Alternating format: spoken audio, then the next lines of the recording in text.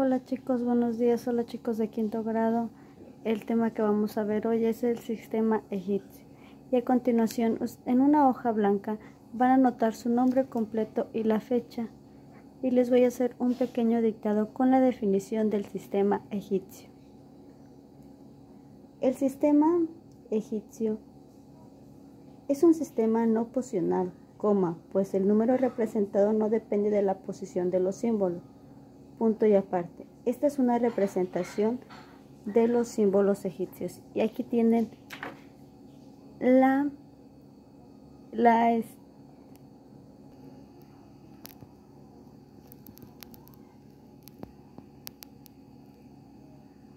Posteriormente, en una hoja blanca con su nombre completo y con el tema del sistema egipcio, van a van a escribir una numeración del 1 al 20 con números egipcios.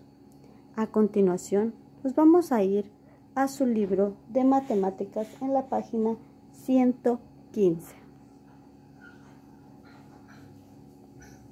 Ya que nos encontramos, a continuación vamos a abrir nuestro libro en la página 115 en el desafío 60, sistema egipcio. Dice, emparejale el siguiente información y después realiza la actividad. Los sistemas de numeración son, son instrumentos útiles para expresar y comunicar cantidades. Están compuestos de cifras y reglas para combinar dichas cifras.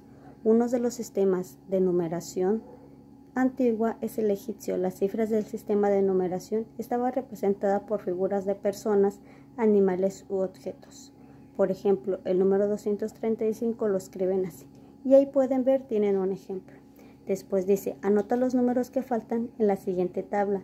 Algunos están escritos en el sistema de numeración egipcios y otros en el sistema de numeración decimal.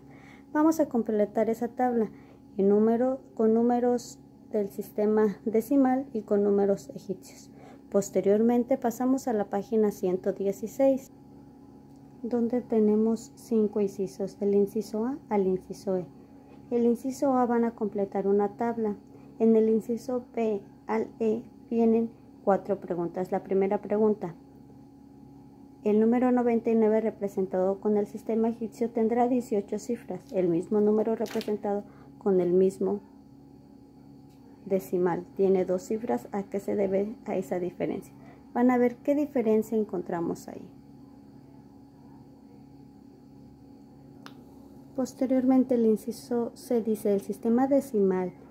La expresión 21 y 12 representan diferentes números. El sistema egipcio la, representación y representación del mismo número. ¿A qué se debe diferencia? ¿Qué diferencia podemos encontrar ahí? El inciso de qué número forma al escribir nueve veces cada una de las cifras egipcias de la tabla del inciso A. Van a ver la tabla y van a ver qué diferencia se encuentra ahí.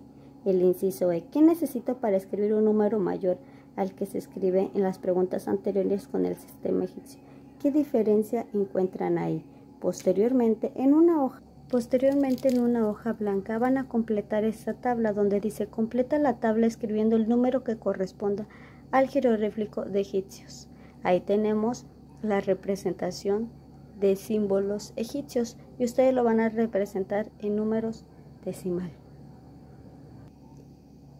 Posteriormente van a tomar una hoja blanca y van a anotar, van a, dibujar esta tabla, este recuadro, y lo van a completar con el sistema egipcio. Con esto damos por terminado la clase de matemáticas.